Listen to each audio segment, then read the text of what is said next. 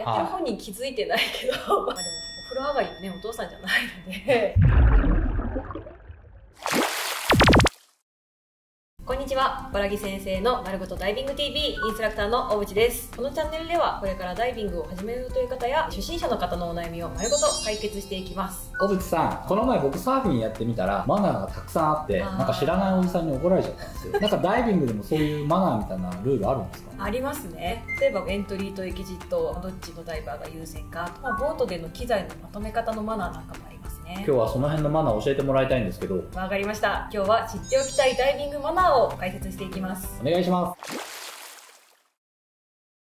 まず陸上からいきます。一つはですね、荷物はコンパクトにしておきましょう。えそれは持ち物なるべく少なくしろってことですか？確かに最小限の方が楽は楽ですけどねで荷物もたくさんあってわちゃっと一人で広げてしまうと他の方の迷惑になっちゃったりとかたまに更衣室の段の上全部その人の荷物みたいな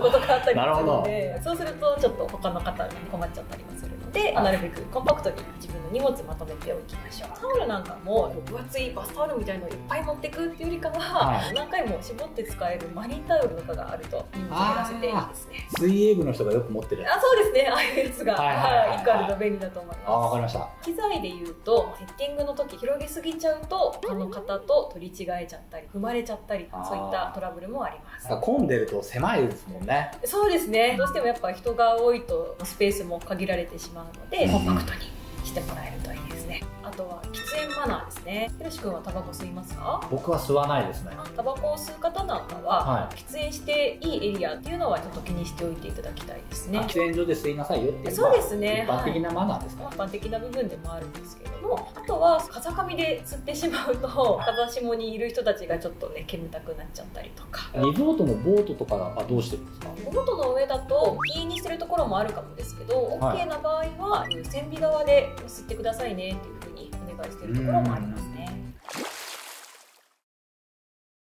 陸上での格好も大事ですね。格好にマナーがあるんですね。まあ一応マナーというマナーですね、はい、どんなところですか？男性であっても女性であっても水着1枚でうろうろするのは、まあ、できればねあーでも夏だとそうなりたくなりますよね。暑いので、まあ、ちょっと脱ぎたい気持ちもわからなくはないんですけれども。なるほど。まあ、でもお風呂上がりはねお父さんじゃないので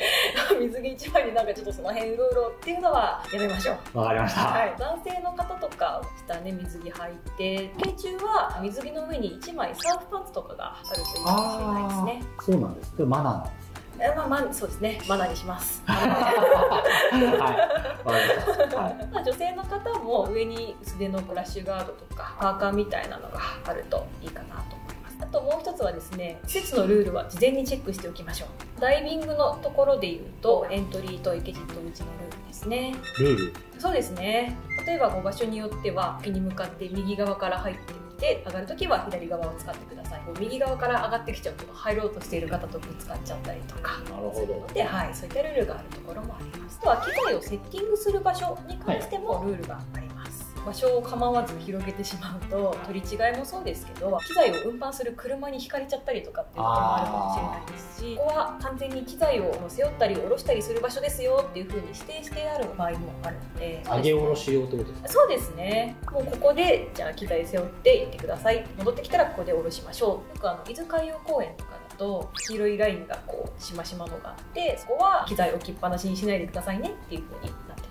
そういうルールがあるんですか？はい、休憩所だったりボートの上だと、まあ、あの濡らしたくないエリアっていうのがあるんですよね。ドライエリアっていう風によく言われるんですけれども、ウェットスーツを着たまんまこう水が滴る状態ではその中に入らないでくださいねっていう場所があります。それは事前にこう案内があるってことですか？そうですね。最初施設の案内の時にここは必ず水着の格好でちょっとこう体拭いてから入ってくださいねとかこっちだったらウェットスーツ着たまま使ってもいいですよとかっていう風に案内があるはずですなるほど。ひろし君太で潜った時に温泉丸って入りましたか？はいお風呂入りました。あそうですよね、はあそこも実は2隻船があったと思うんですけど、い。は実は片方はスーツを着たまんま入って OK っていうはい。温泉丸で、もう一つの方はスーツは完全に脱いでもらって水着の格好で使ってくださいねっていう。あそんなルールあったんですね。そうなんです。こうそういうふうにこう細かく分かれている場合なんかもありますね。温泉丸いいですよね。そうですよね。潜った後にちょっとこう温まって帰れるはあ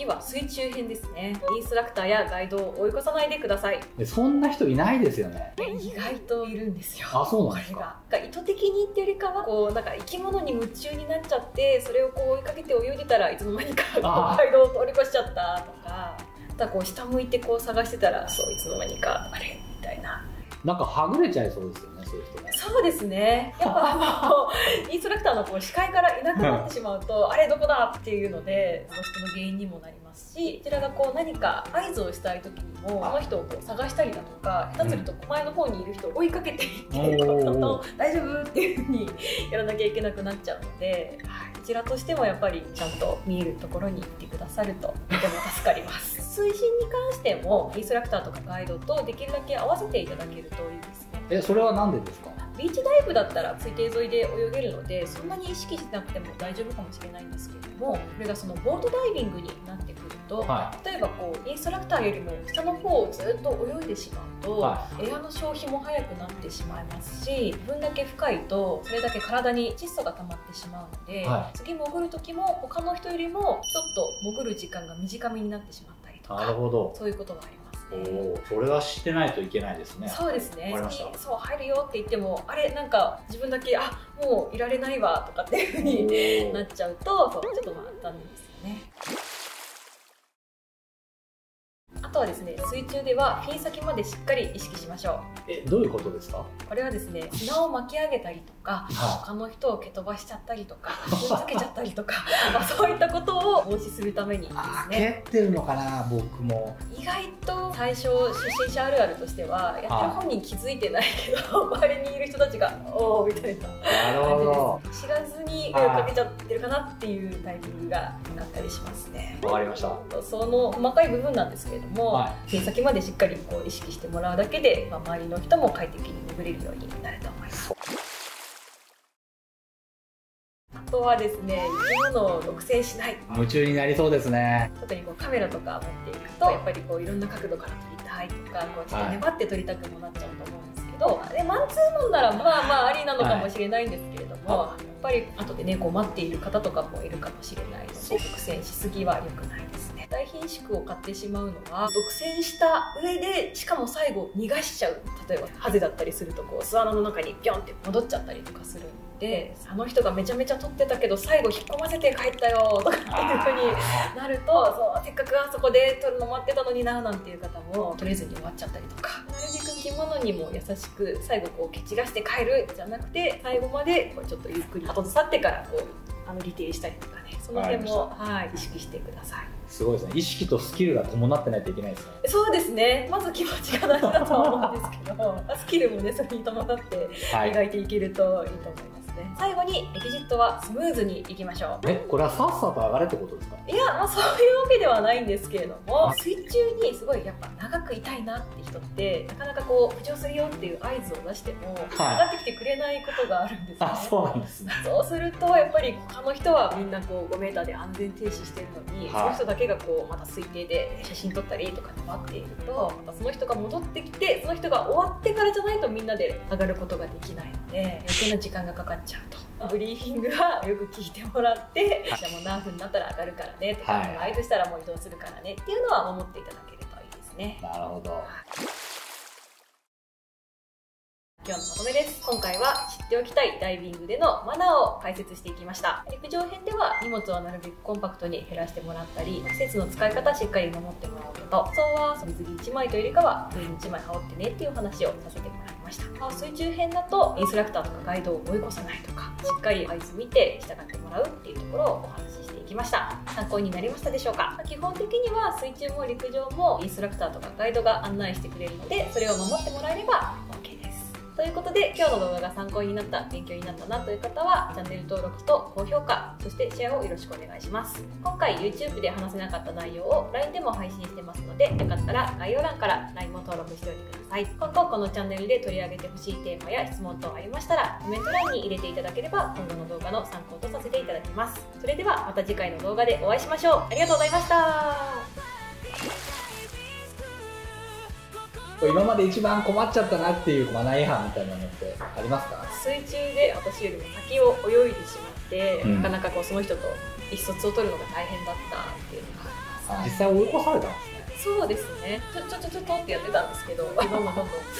増えちゃったので、逆にこういうことしてくれると気持ちいいなっていうこうなんかありますか？まあ、水中でも、まあ、なるべくアイコンタクト取れた方が意思疎通もしやすいですし安全にもつながるのでたまにこうこちらを見てもらえるとやりやすいですね。アイコンタクトってことですね。そうですね。もうずっとカメラとか、なんかずっとうろうろってよりかは、